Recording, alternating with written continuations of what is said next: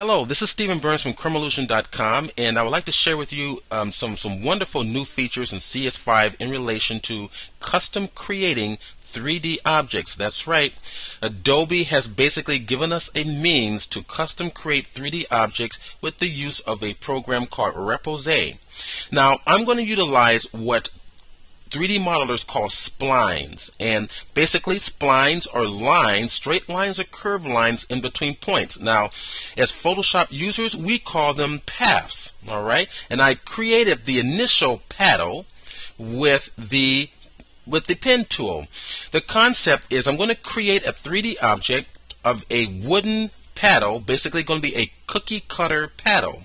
So I'm going to cut out the shapes out of the wooden paddle and then in when we're going to surface it. So in this tutorial, we're going to create the 3D shape. In the second tutorial, we're going to resurface it to make it look like a actual wooden surface on the top sides and the bottom. Okay, so let's start by creating our 3D shape. I have a layer with blue, filled with blue. Keep this in mind because this is the layer that's actually going to be utilized to create the 3D shape. I also want to bring something else to your attention. Under the paths, we have the picture or the shape that we actually utilize. As a note, I created these custom shapes using the custom path option right over here on, on your toolbar.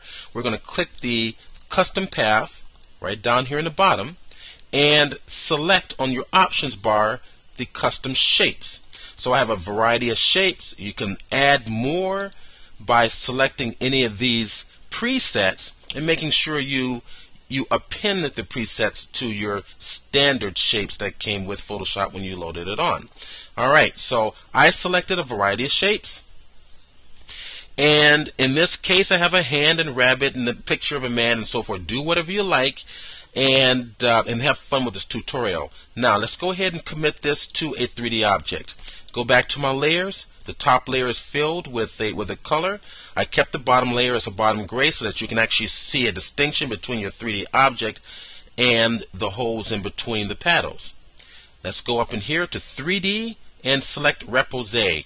We're going to utilize what? We're going to utilize a path. So select a path and sit back and relax and watch Repoussé dialog box convert this simple spline shape or path shape into a 3D object. Okay, there it is. Now, I'm going to zoom in just a little bit. Let's pull this up and let's rotate our 3D object slightly downward so we can see a little bit better what's going on here. So the depth of my shape is a little bit too long, but you can see it basically honored the shape of my spline or my path it pretty accurately. It looks actually very, very good. I'm quite happy with how Repoussé has um, has rendered this out. Now let's go ahead and, and decrease the depth. Now you can just click and drag this and you'll actually see the shape decrease in size. Now I've played around with this a little bit and I have found that if I go down to somewhere around eh, about there seems like it's going to work real well. Let's go ahead and rotate it and take a look at the sides. That's not bad. Let's go ahead and keep that there. Now what about the shapes in the middle? It looks like we've lost that. Actually, we haven't. We're going to tell Photoshop to, or Repoussé to go in and select those individually and make a hole. Now, let's go down to the bottom. It says internal constraints we have several options for internal constraints. The internal constraints are basically those shapes that we created using the pen tool. Let's select the the um, not the slide but the move tool here and the pan tool and once selected watch as I mouse over the surface of my paddle it's going to give me an outline of the objects as I mouse over them, and one's going to be selected. Right now, the rabbit is selected. So I'm going to, I'm going to click on it right under Type. Instead of inactive, we're going to select Hole. And what Repoussé is going to do is going to cut us a nice little hole out of there. And we're going to have the, the first of our cookie cutter shape. There it is. Let's do it again. Let's mouse over the arrow. In fact, I'll tell you what, let's do the heart just for fun. And go right over here and select the hole. And we're going to sit back and relax and watch Repoussé does its thing. So now we start getting our basic concept of the, of the, of the wooden cookie cutter paddle.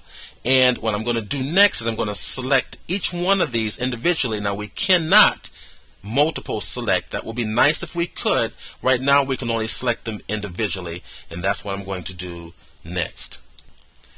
Okay, as you can see, everything is cut out accurately. I'm going to go to my rotation commands in your top left hand corner. We have all of our navigational tools exactly the way we have them in the tools bar um, on our to, on the on the tools bar here for the 3D rotational tools. So I'm going to go right over here, select the rotation tool, and I'm going to rotate it up slightly because what I'd like to do is give it a slight bevel on the top. And in fact, let's go ahead and zoom in a little bit more so you can get a closer look of what's going to happen here. Now I'm going to give it a slight bevel. I want the bottom of the board to be a nice sharp edge, but I want the top of the board to be a slight bevel. bevel. We're going to put the cookie dough on the top and create the shapes. And, and this is going to be uh, this is a little bit of too much of a sharp edge for my for my eyes. So right over here under the bevel box, I'm going to increase the height, and I'm just going to click and hold on height and move the mouse over to the right, and that's going to increase the height. We're not seeing a whole lot of changes just yet until we start to add the width. Let's go ahead and create the width of the bevel, and that's going to bring it in and see right there. You saw it move there just a little bit and I brought I'm going to bring the height up just a little bit more. It's beveling in slightly. And let's go ahead and bring the height just up slightly. And we're going to watch this. And what you should see there it is. It just moved up slightly. Let's go ahead and give it a little bit more so that you get a better idea how this is working. And it moved up just a little bit slightly. So we have a slight bevel there it's very thin. I don't want it really very thick, but you get, you're getting the idea that we can add bevel to anything. Now, Repoussé has given us several surfaces, one for the top, for the side, and for the bevel, as well as a surface for the bottom. We can alter these surfaces very quickly. Right up here, they're already defined. Front, bevel, sides, bevel 2. So let's go ahead and select the front and select a preset. This is very nice. We can have a, we have visual custom presets that's actually going to give us the surface for the top. Now what I like to do is give the bevel the same type of surface and go right over here to bevel 1 and select it and this will become the same orange texture that we have for the front. Now let's go to the side. Let's give the side a slightly different texture. We'll go over the sides, select it. We'll grab this one here and sit back and relax and look how it works that quickly actually. And we have a different surface for the sides, a bevel, and I'm going to go down and do the bottom. How about if we give the bottom, basically it's designated as back, and give it the same texture as we did for the front. Alright, it's done. Alright, looking pretty good. Now what I'm going to do is I'm going to commit the changes here Click OK and watch Repoussé commit this to a standard 3D layer. Alright, let's pull back a little bit. There we are. Let's take a look at our object. Go to our 3D navigational tools. Let's go to our 3D pan and we can move this around. And of course our 3D rotational tool. And we can take a look at the top and bottom and sides. So I hope you enjoyed this uh, video. In the next video, I'm going to show you how to come in and custom surface this with your own photographic textures. So if you want to get to know more about me and who I am, please go to chromeallusion.com and be sure to take a look at the books and DVDs and you can give you an idea of the latest books that I've just produced. The newest one is the Photoshop CS5 Trickery and Effect. I hope that you enjoyed this presentation. I'm Stephen Burns and come back for the second video on custom creating or custom creating your texture surfaces on your 3D object.